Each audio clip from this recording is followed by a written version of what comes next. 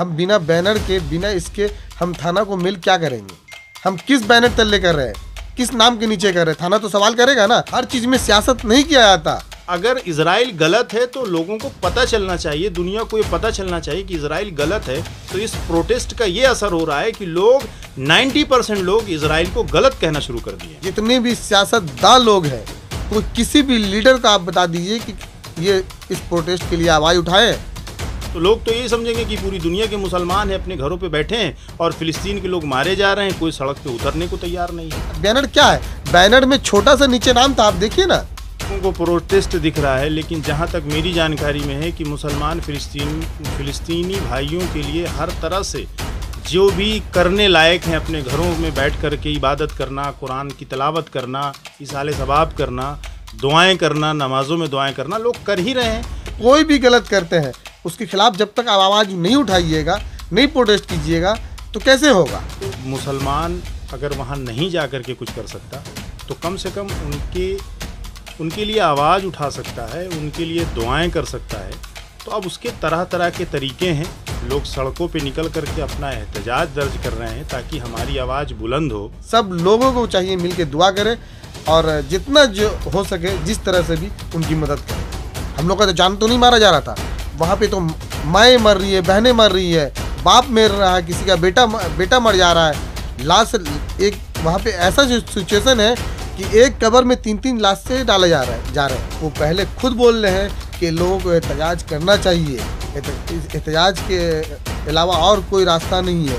देखिए, सबसे पहले तो मैं आपको बता दूँ, फ़िलिस्तीन के ऊपर जो जुल्म हो रहा है तो वो लोगों को देखना चाहिए कि जुल्म जो हो रहा है, वहाँ इंसानियत शर्मसार हो रही है। वहाँ पे जिस तरह से तीन महीना बोलिए, तीन साल बोलिए, पाँच साल, बच्चे जो वहाँ पे जिस तरह, बच्चे को जो देख के आदमी का रहा ना, एक रूह कलब जा रहा है। उस चीज़ को लेके अगर हम एहतजाज ना करें, आवाज़ ना उठाए तो हम ऐसा मेरे अंदर फील होगा कि हम जीते जी एक लाश की तरह है। तो आप आपको एहतजाज करना आपका ये है, आप कीजिए। और जो लोग इस तरह की बात बोल रहे हैं या कह रहे हैं तो आप उनका बयान पूरा सुनिए। वो पहले खुद बोल रहे हैं कि लोगों को एहतजाज करना चाहिए। एहतजाज के अलावा और कोई रास्ता नहीं है। फिर बाद में ये लोग, वही बात किसी के मीडिया पे पूछने पे वो लोग बोल रहे हैं तो आप खुद तो वो लोग कंफ्यूज हैं। तो क्या बोला जाएगा? देखिए, जब एक्चुअली देखिए ये एहतजाज जो है ना, जब आप सपोज़ मान लिए कि जब एनआरसी आया तो हम, हिंदुस्तान के मुसलमानों को ये कहा गया कि तुम्हारा अगर नाम नहीं होगा तो तुम्हें निकाल दिया जाएगा। तो खुदा की कसम, हम लोग इतना डर से, हम लोग रास्ता पे आ गए थे। सिर्फ़ ये बोला गया था। और वहाँ तो तीन महीने के बच्चा को समझ लिए कि किस तरह जो वीडियो आ रहा है, आप देखिए, उसके लिए आवाज़ नहीं उठाए। हम लोग को सिर्फ़ इतना बोला गया था कि अगर तुम्हारा सना ये नहीं रहा तो तुम्हें निकाल दिया जाएगा हिंदुस्तान से। हम लोग का तो जान तो नहीं मारा जा रहा था। वहाँ पे तो माएँ मर रही है, बहनें मर रही है, बाप मर रहा है, किसी का बेटा बेटा मर जा रहा है।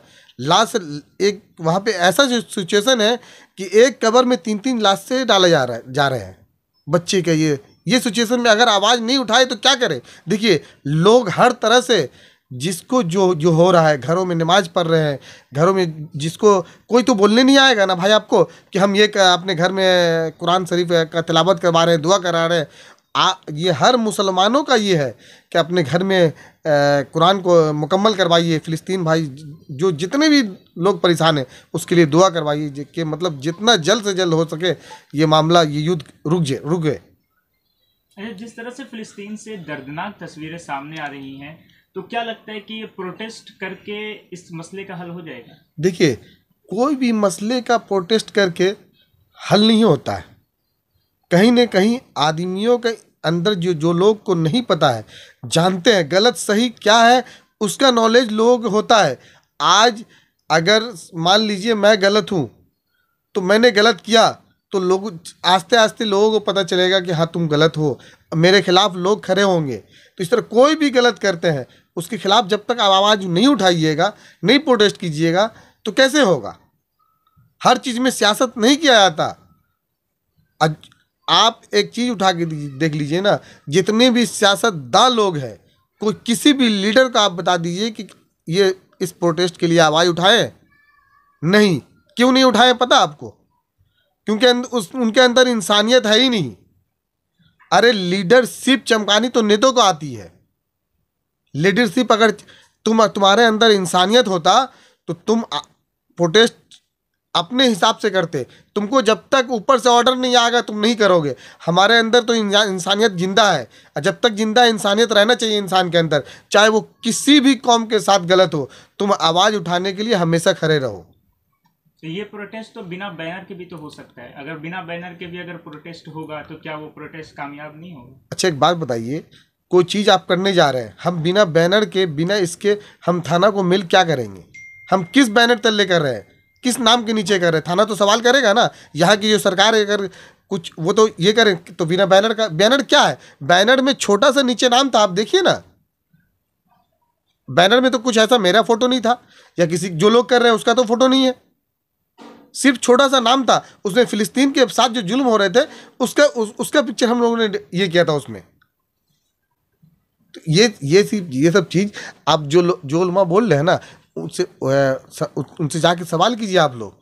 आप तो अपना बयान में खुद बोल रहे हैं कि प्रोटेस्ट ही करना एक रास्ता है एहतजाज ही करना एक रास्ता है और फिर बाद में आप बोल रहे हैं कि नहीं ऐसे नहीं ऐसा। इसका मतलब है कि जो आप आप प्रोटेस्ट कीजिए तो वो प्रोटेस्ट है। और दूसरा कोई अगर करे तो वो प्रोटेस्ट नहीं है।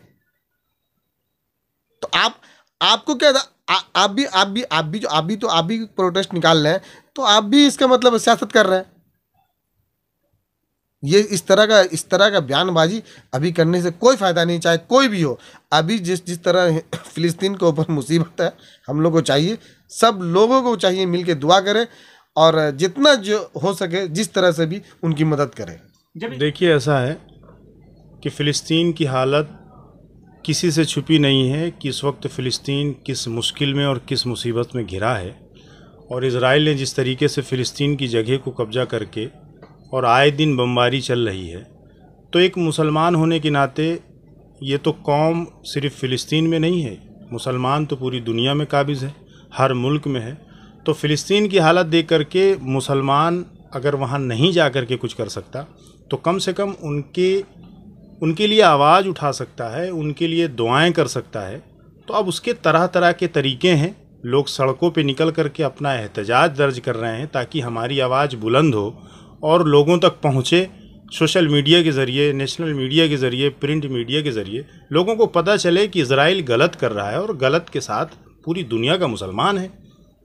तो इस पे अगर ये कह देना कि कोई सड़कों पे उतर रहा है तो ये नहीं उतरना चाहिए तो हम समझते हैं कि ये गलत बात है। इस तरह की बात नहीं करनी चाहिए थी। लेकिन अगर ऐसा देखा जाए कि प्रोटेस्ट ना करके कोई दूसरा कोई रास्ता इख्तियार किया जाए जिससे फिलिस्तीनियों के लिए कोई भलाई का काम हो सके तो फिर उसमें क्या देखिए कुछ चीज़ें दिख रही हैं कि लोग लोगों को प्रोटेस्ट दिख रहा है लेकिन जहाँ तक मेरी जानकारी में है कि मुसलमान फिलिस्तीन फिलिस्तीनी भाइयों के लिए हर तरह से जो भी करने लायक हैं अपने घरों में बैठ कर के इबादत करना, कुरान की तलावत करना, इसाले सवाब करना, दुआएँ करना, नमाज़ों में दुआएँ करना, लोग कर ही रहे हैं। लेकिन अब वो घर के अंदर की बात है तो अपने जज्बात को और अपनी चीज़ को अगर हम बाहर नहीं निकालेंगे, नहीं पता लोगों को चलेगा तो लोग तो यही समझेंगे कि पूरी दुनिया के मुसलमान हैं, अपने घरों पे बैठे हैं और फिलिस्तीन के लोग मारे जा रहे हैं, कोई सड़क पे उतरने को तैयार नहीं है। तो ये जो प्रोटेस्ट लोग निकाल रहे हैं, इसका क्या हल निकल रहा है? क्या लगता है आपको कि प्रोटेस्ट निकालने से कोई फ़ायदा पहुंचेगा? प्रोटेस्ट निकालने से सबसे बड़ा, देखिए, फ़ायदे नुकसान के लिए तो ये प्रोटेस्ट हो ही नहीं रहा। सबसे पहली बात कि पूरे हिंदुस्तान ने, पूरी दुनिया का मुसलमान, आपने देखा होगा कि उस दिन तुर्की ने भी एक बहुत ज़बरदस्त उन्होंने रैली, वहाँ की जो प्रधानमंत्री उन्होंने, वो भी एक बहुत बड़ा प्रोटेस्ट उन्होंने किया। हर जगह पे, हर ममालिक पे, हर जितनी भी मुस्लिम कंट्रियाँ हैं, सब जगह प्रोटेस्ट प्रोटेस्ट निकालने का मतलब ये नहीं है प्रोटेस्ट निकालने का मतलब और उसका फ़ायदा ये हो रहा है कि कम से कम लोगों को ये पता चल रहा है कि इसराइल ने गलत किया है। और इसराइल की जो गलतियाँ हैं, उसकी ज़मीन पे जो 88 परसेंट कब्ज़ा जमाए बैठा है इसराइल और फ़िलिस्तीन को 12 परसेंट ज़मीन बची है और जिस तरीके से वहाँ पे हमास को ख़त्म करने की प्लानिंग चल रही है तो अगर इसराइल गलत है तो लोगों को पता चलना चाहिए, दुनिया को ये पता चलना चाहिए कि इसराइल गलत है तो इस प्रोटेस्ट का ये असर हो रहा है कि लोग 90 परसेंट लोग इसराइल को गलत कहना शुरू कर दिए ये प्रोटेस्ट का ही नतीजा है। इंडिया की जितनी भी फॉरेन पॉलिसी रही है, वो इसराइल के हिमायत पे रही है और फ़िलिस्तीन के हिमायत पे रही है। और इसराइल ने जो किया है, उसके अगेंस्ट वो हमेशा से पूर्व प्रधानमंत्री रहे हों या इससे पहले जो भी हमारे नेता रहे हों, जो भी इस देश के में काबिज जो सरकारें रही हों, उन्होंने इसराइल को गलत बता करके फ़िलिस्तीन के हक पे बात की है। और आज उस सियासत को ला करके जहाँ पे आए दिन हिंदू, मुस्लिम और आए दिन हर चीज़ को अपने इलेक्शन से जोड़ करके लोग देख रहे हैं। आज अगर कोई कहता है कि इसराइल ठीक है तो क्या माननीय प्रधानमंत्री अटल बिहारी वाजपेयी को हम गलत कह सकते हैं? उन्होंने कहा था कि फ़िलिस्तीन सही है। वो भी हमारे देश के प्रधानमंत्री थे और वो सर्वोपरि नेता थे और हर जगह मान्य थे।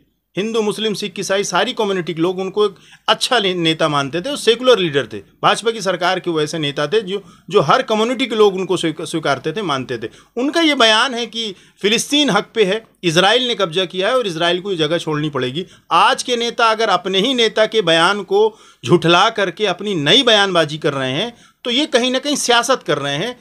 जान जा रही है लोगों की, वो हिंदू की हो, मुसलमान की हो, सिख की हो जान जा रही लोग मर रहे हैं छोटे छोटे बच्चे शहीद हो रहे हैं तो इस पर किसी को सियासत नहीं करना चाहिए। जो सही है, वो तो कम से कम सही कहना चाहिए।